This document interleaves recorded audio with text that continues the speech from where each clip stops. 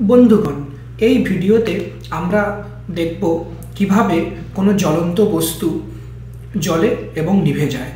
অর্থাৎ আমরা জানি কার্বন ডাইঅক্সাইড কোনো জ্বলন্ত বস্তুকে নেভাতে সাহায্য করে এবং অক্সিজেন জ্বলতে সাহায্য করে। তো এটার জন্য একটি সাইকেল স্পোক, মোমবাতি এবং বড় জার চাই। প্রথমে সাইকেল স্পোকের সাহায্যে মোমবাতিটি আটকে মোমবাতিটি জ্বালিয়ে নাও।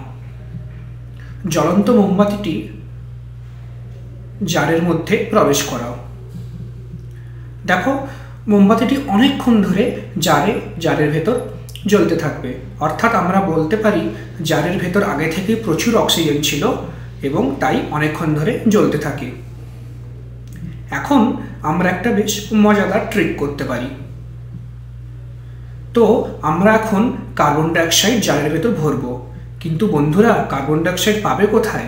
হ্যাঁ আমরা জানি। আমাদের ফুসফুস থেকে আমরা যখন শ্বাস প্রশ্বাস নিই এবং ছাড়ি, যখন ছাড়ি, তখন কার্বন ডাইঅক্সাইড নির্গত হয়।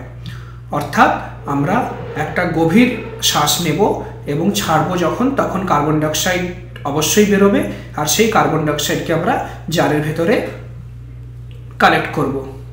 দেখো, শ্বাস ছাড়লাম এবং সঙ্গে সঙ্গে জারের লিডটিরই ঢাকনাটি বন্ধ করে দিলাম। অর্থাৎ আমরা বলতে পারি এর ভেতরে কার্বন ডাইঅক্সাইড গ্যাস আছে। এখন একইভাবে মোমবাতিটি জ্বালিয়ে সঙ্গে সঙ্গে কার্বন ডাইঅক্সাইড পূর্ণ জারের ভেতরে প্রবেশ করাও। পাও ইমিডিয়েটলি জ্বলন্ত মোমবাতিটি নিভে গেল। অর্থাৎ আমরা বলতে পারি কার্বন ডাইঅক্সাইডের সংস্পর্শে আসা জ্বলন্ত বস্তু নিভে যায়। তাই কার্বন ডাইঅক্সাইড অনেক ক্ষেত্রেই অগ্নি নির্বাপক হিসাবে ব্যবহৃত হয়। তাই না? তোমরা পরীক্ষাটি করো খুব মজা পাবে।